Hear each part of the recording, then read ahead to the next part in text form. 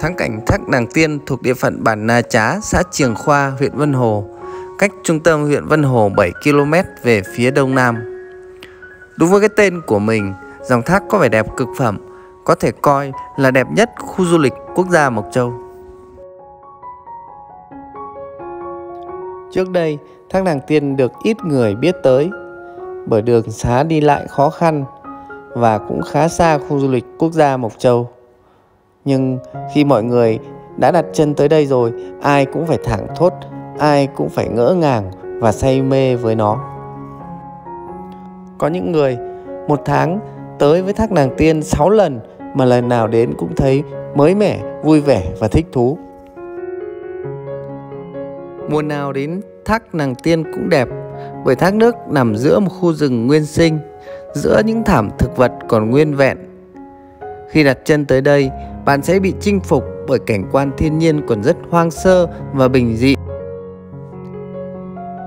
Thác Nàng Tiên được hình thành bởi nguồn nước của dòng suối Tân, hợp lưu từ nhánh của bản suối Lìn, xã Vân Hồ và bản suối Khem của xã Phiêng Luông. Tên gọi Thác Nàng Tiên có một truyền thuyết và được gắn với lễ hội Hoa Ban mang ý nghĩa tâm linh trong đồng bào các dân tộc xã Triềng Khoa, huyện Vân Hồ, nhất là đồng bào dân tộc Thái. Theo sự tích người Thái vẫn kể lại cho con cháu thì ở bản Khòng Thái, tức bản Khòng 2 ngày nay của xã Triềng Khoa, huyện Vân Hồ, có một gia đình họ Lò sinh ra hai chị em gái rất xinh đẹp là Khăm Khe và Khăm Piêu. Hai cô xinh đẹp hơn người, nết la, khéo léo, giỏi giang nức tiếng khắp vùng, dân bản dưới, mường trên, ai ai cũng yêu quý. Tin lành đồn xa đến tai vua Lê, nhà vua sai người đến vùng mường mây, thị sát, sắm sửa lễ vật để rước hai nàng về làm vợ. Nhưng rồi phận mỏng, trên đường đi cả hai chị em đều bị chết. Tiếc thương số phận của hai người, dân mường mây dựng đền rước hai người về thờ phụng tổ chức lễ hội sen bản, sen mường vào mùa hoa ban nở hàng năm. Dòng thác suối Tân hay còn gọi là thác Nàng Tiên, nơi nàng khăm chết nằm ẩn mình giữa thung lũng Nà Súng, Kỳ Bí, thuộc địa phận hai bản Nà Trá và Nà Tén. Và chính vì thế mà đôi khi chúng ta thấy người ta còn gọi thác Nàng Tiên là thác Nà Trá. Xung quanh dòng thác là cánh rừng nguyên sinh ngút ngàn màu xanh, ôm dọc theo toàn bộ thung lũng như để cất giấu những điều bí mật về truyền thuyết của hai nàng. Thác Nàng Tiên đã được Ủy ban Nhân dân tỉnh Sơn La xếp hạng là danh thắng cấp tỉnh theo quyết định số 1120 ngày 30 tháng 5 năm 2018. Trước kia đường xuống thác Nàng Tiên khó đi cho nên ít người biết tới. Nhưng ngày nay khi đường đã dễ đi rồi thì chỉ mất khoảng 30 km từ Mộc Châu xuống là chúng ta đã có mặt tại thác Nàng Tiên rồi. Nếu từ Hà Nội lên, chúng ta sẽ dừng ở ngã ba Vân Hồ và rẽ phải. Sau đó đi đến xã Trường Khoa. Nếu từ Mộc Châu, chúng ta có hai lựa chọn. Một là đi theo quốc lộ 43 qua thị trấn nông trường Mộc Châu, xuống đến địa phận xã Trường Khoa. Cách thứ hai là đi theo quốc lộ 6 đến ngã ba Vân Hồ thì rẽ trái. Như vậy, tất cả các cung đường đều tập trung về địa phận Ủy ban nhân dân xã Trường Khoa.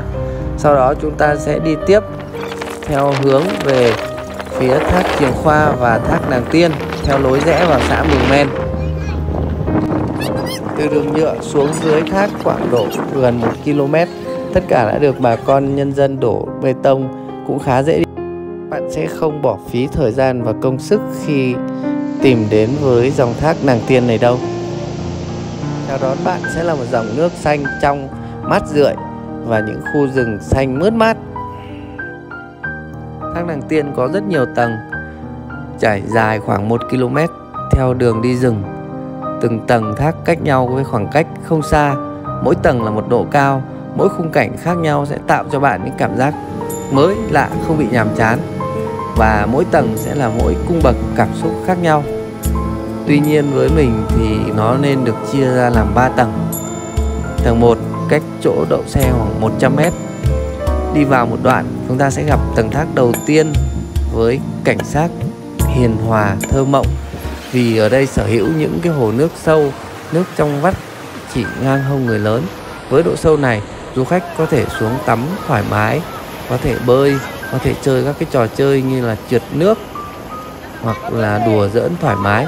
Cả trẻ con và người lớn đều có thể bơi lội ở đây được. Đây có lẽ là một trong những cái vị trí hợp lý nhất và an toàn nhất để bơi lội. Tuy nhiên, khi đưa trẻ con đi cùng, chúng ta nên chuẩn bị sẵn phao bơi và chú ý an toàn cho bọn trẻ.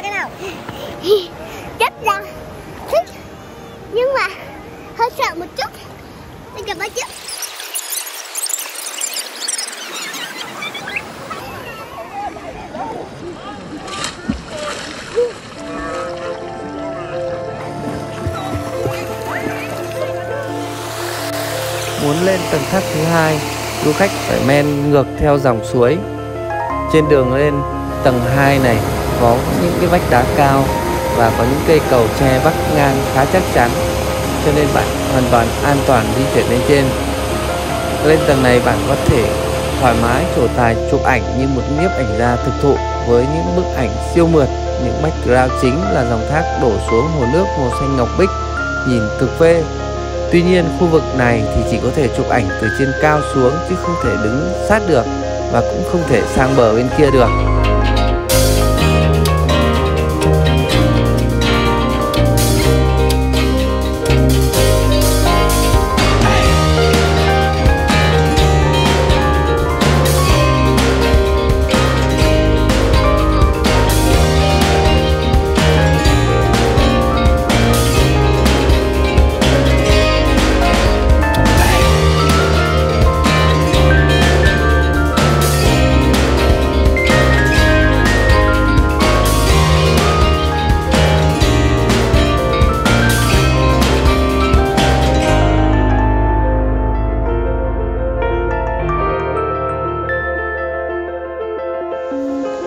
Tầng 3 là tầng cuối cùng và cũng là tầng mang nhiều sắc thái nhất.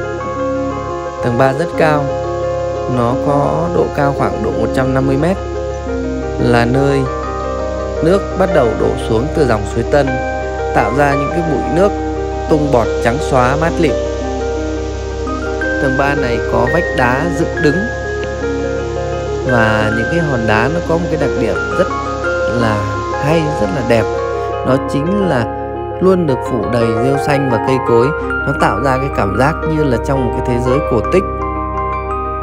Nếu bạn muốn sở hữu những tấm hình xinh xẻo, đẹp, ngây ngất, có thể thuê bè gỗ chụp ảnh hoặc có thể mang theo những chiếc xuồng, chiếc xúc để chèo thuyền ở đây. Đây là khu vực cực đẹp và tuyệt vời để chụp ảnh, để khám phá. Nhưng tuyệt đối không nên bơi lội ở khu vực này bởi vì nước chảy xiết và những cái vực nước khá là sâu. Ở đây cũng có khá nhiều món ăn ngon của người Thái. Bạn có thể lựa chọn thưởng thức ngay bên bờ suối rất thú vị